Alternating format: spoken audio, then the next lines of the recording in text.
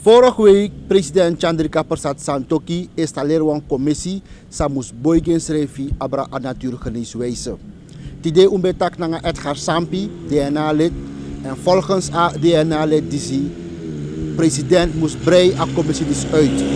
En ook kan dus zo dat lanti e installeren een commissie Samus Luku a Natuurgeneeswijze, maar no one zijn de betrokken in die natuurgeneeswijze door de vertegenwoordigd in die commissie. We leven in een uh, multi-etnische samenleving, multiculturele samenleving. En ieder met zijn of haar uh, cultuur waarin hij of zij gelooft.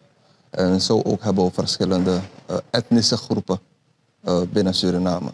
En het is een roeping, het is een, een jarenlange roeping van de personen uh, in het binnenland uh, bijvoorbeeld en de uh, akkoorden, laat me, ze, laat het zo stellen.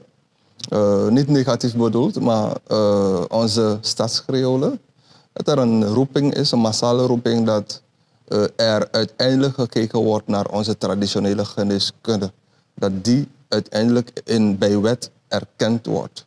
Omdat we we weten allemaal in Suriname dat, dat het helpt. Uh, ook bij de andere uh, etnische groepen, de Javanen, de Hindustanen, die hebben de Chinezen hebben hun eigen traditionele geneeswijze. en ze weten dat het helpt. En daarover, daartegenover heb je westerse geneeskunde.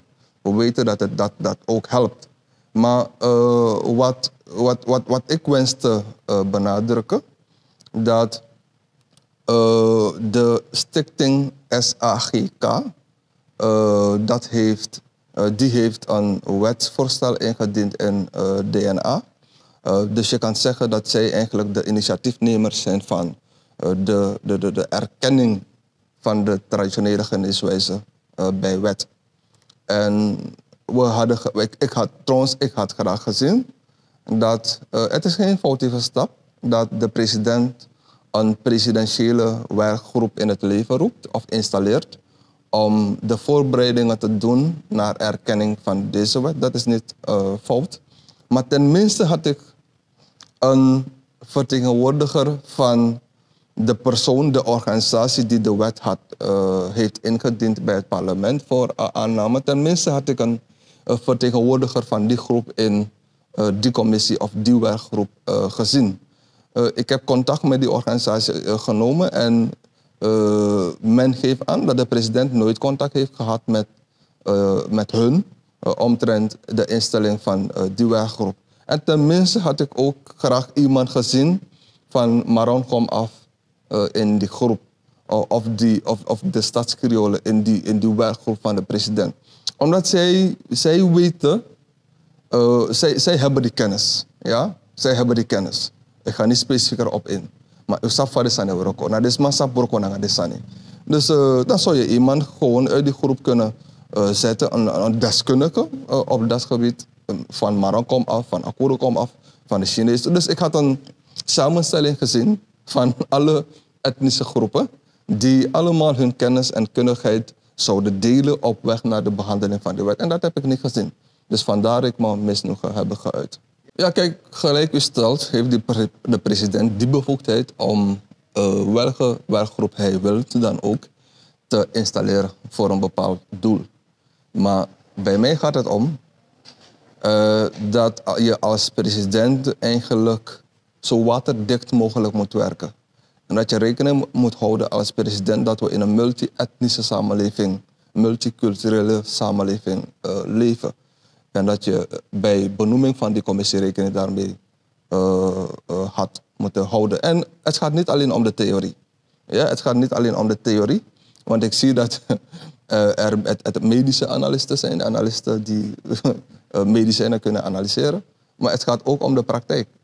En we moeten mensen in die commissie hebben die in die praktijk zitten.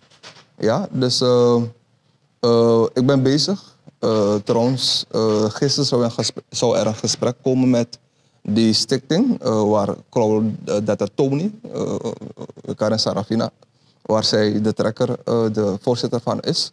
Maar dat gesprek is niet doorgegaan. Ik denk dat we vandaag aan tafel gaan zitten om te bespreken wat de stappen zijn die ondernomen zullen worden om de president te herinneren, of in de, in de president in, kennis in, in stelling te brengen, dat er een organisatie is als hij het niet wist, dat er een organisatie is die al een wetsvoorstel had ingediend in het parlement.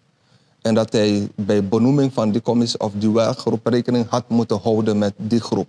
En met het verzoek, als het nog kan veranderen, dat hij dat toch verandert. Dat de samenleving kan zien dat hun mensen daarin uh, vertegenwoordigd zijn. En dat ze precies weten en uh, goed weten dat ze goed vertegenwoordigd zijn en dat hun kennis en kundigheid niet verloren gaat en dat het op de juiste manier overgebracht zal worden uh, en vastgelegd zal worden dat, zij, dat de Makansine en dat hun medicijnen ook erkend worden en dat ze dat ook kunnen gebruiken voor make money en, en, en, en als een industrie om aan geld te komen en het binnenland te helpen te ontwikkelen. Hij moet de werkgroep uitbreiden. Als hij de maximale inzet van de andere uh, groeperingen, anders dan zij die in die werkgroep uh, uh, zitten, als hij die maximale participatie wenst, dan moet hij die werkgroep uitbreiden.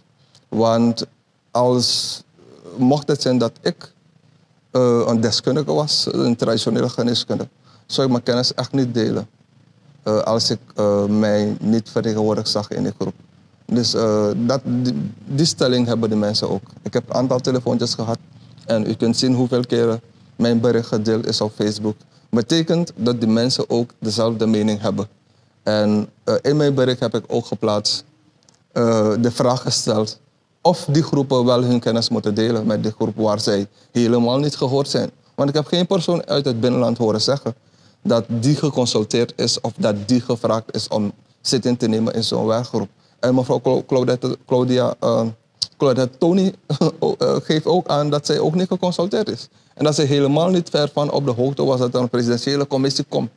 Dus die president André Anu Paraboto en president Wanita, alle bevolkingsgroepen uh, bijvoorbeeld ook de Chinezen hun bijdrage aan de Javanen ook een bijdrage moeten leveren in deze wet.